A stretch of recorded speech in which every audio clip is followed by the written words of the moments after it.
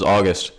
I was on Brackeys Game Jam thing on itch.io. I was like, "Hey yo, they had a they had an actually good theme, which was um, uh, Alone or something." Uh, actually, it was uh, You Are Not Alone. And so I was like, immediately, I'm like, "Okay, bro." I just I saw this Ongé the Great video where he's uh, making this 5 5 p.m.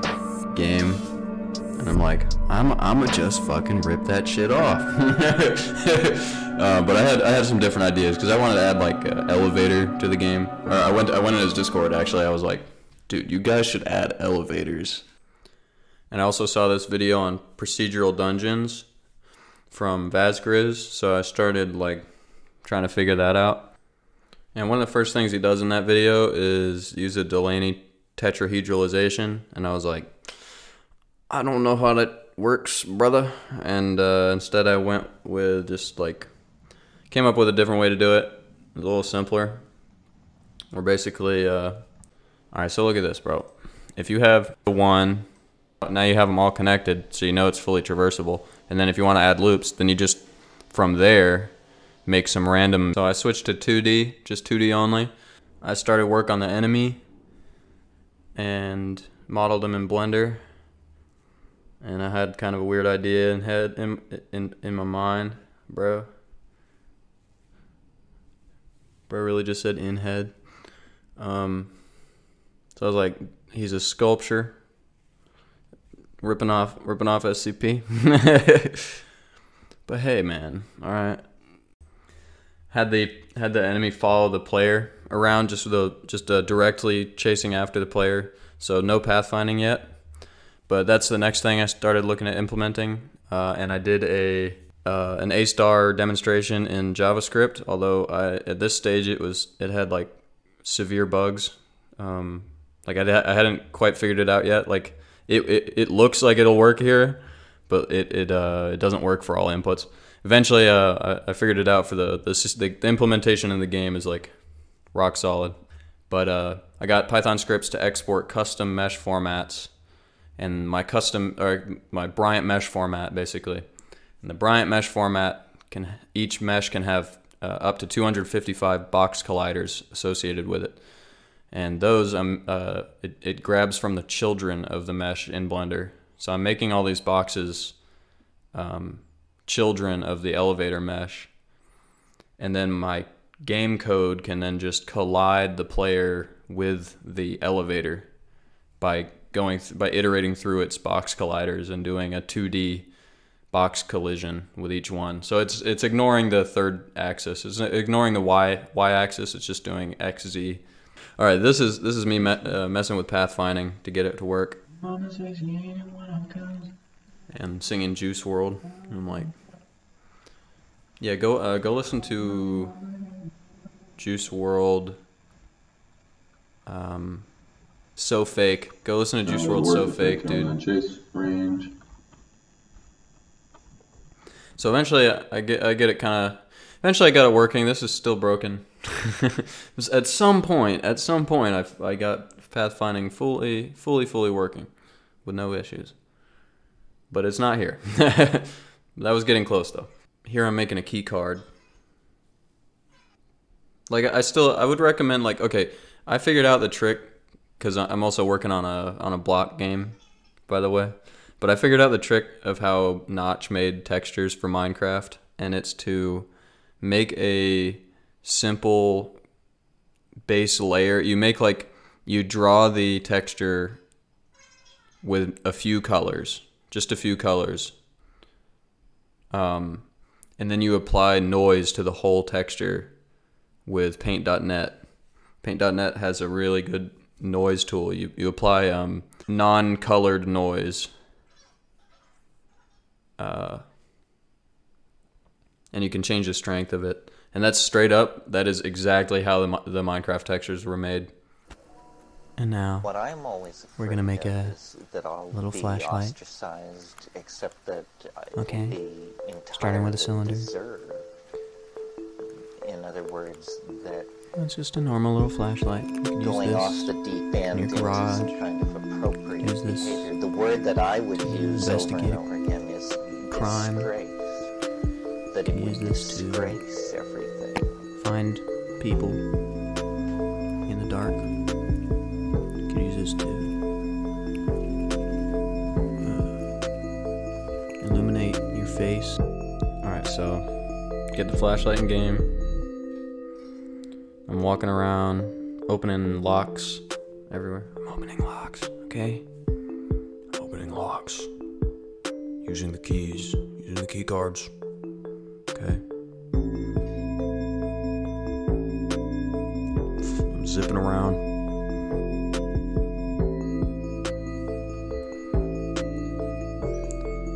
on objects. Now, Changing stuff up. now there's a one frame delay on Now, one thing that's interesting about this, the early flashlight shaders, is it's like up close, it's like blows blows everything out really. So next, I wanted some uh, numbers in the elevator. Blender has numbers. Takes a little while. Yeah. Yep.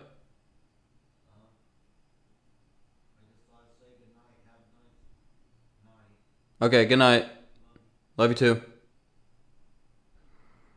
Oh yeah, I was like, oh yeah, I'll paint them. But then I was like, hang on.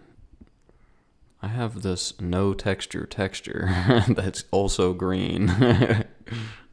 to get this shit to work, like to, to for me to render this video, and not I might like Kdenlive crash because I'm doing this Kdenlive. I'm having to like speed the video up separately and render it. Ah. Ah. Yeah, I'm gonna tell you a story. Last night, I went downstairs because I was hungry, and I've been eating like toast every day for the past few days. So like, I'll have four pieces of toast with Cholula on them. Um, but last night there was no bread left. There were these two pieces of toast that I had burnt and put in a plastic bag, thinking like maybe I'll eat them, but I didn't want those. Um, and they're still sitting down there. I don't think I'm gonna eat them. I went in the closet and I found a can of Bush's baked beans. So I put that in a bowl and I ate that. Um, but I wasn't satisfied with that. The can was pretty small. My dad had a steak for me in the refrigerator. And I started frying that shit. I literally I put it in this like nasty ass cast iron that I had fried um like six chicken breasts in 3 days prior and never cleaned out. So it just had poultry goo at the bottom cuz they were like uh, in addition to, you know, poultry just kind of doing that. Um they were um, marinated chicken breasts. So it was nasty. It was like tar. So as soon as I put the steak in there, I'm like, or as soon as I flip it, I realize it's just covered in tar. And I kept cooking it and I fucking decided I wanted a potato too. And I got a really nice potato out of this bag rinsed it off. I started slicing it thin and putting it in the fucking skillet next to the steak and I put the lid on there to kind of steam everything. And eventually the steak was cooked and I took it out and put it on a plate and it was just sopping with with goo. Brown, brown, very dark brown kind of um you know, super greasy, almost kind of golden, you know what I mean?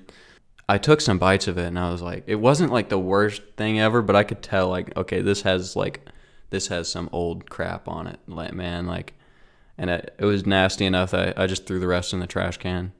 I only like had one bite really that I swallowed. Spit the rest out. Um, and of course my potatoes are just ruined. They're like just as cake. They're even more caked in all that brown shit because they're porous. And uh, I just left them in the skillet.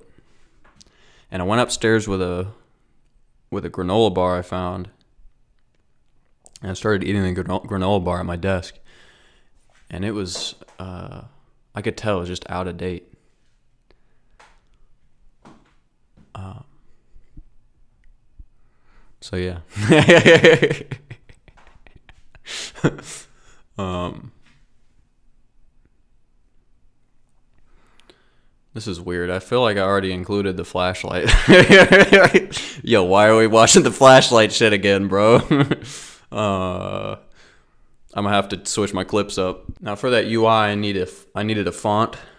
So I printed out this terrible grid. Like I tried printing out a grid that I made in Paint.net, and it came out like this, but it, it actually doesn't matter.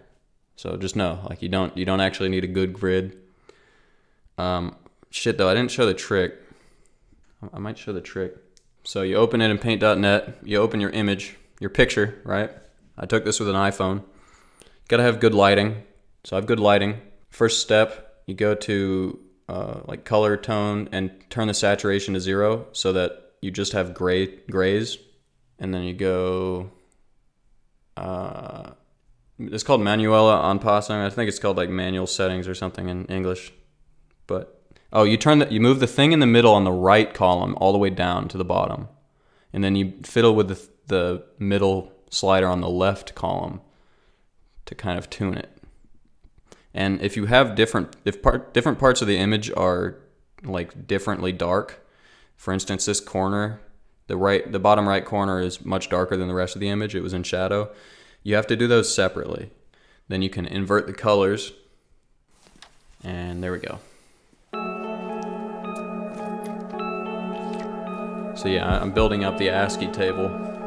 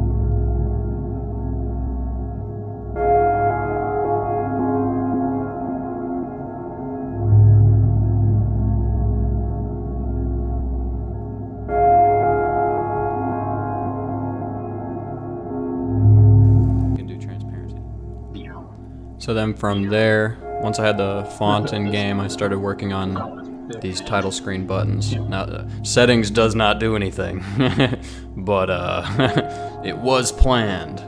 It was planned. I don't know. I just couldn't think of any settings that really needed to be in there. You know what I mean? Or that's just a, uh, my excuse.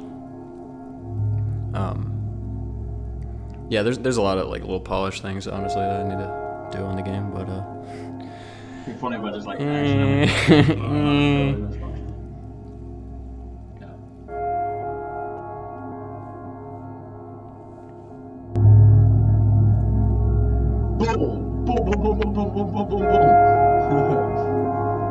Uh, then I replaced the enemy model. I called it a talker in the game.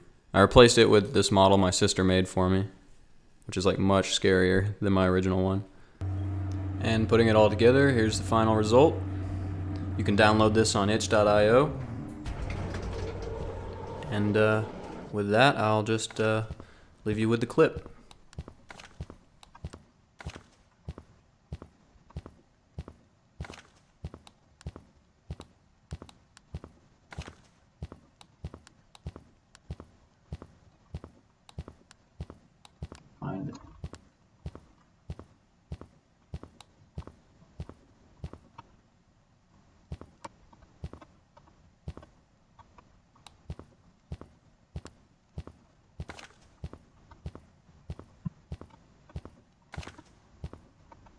How they always find me.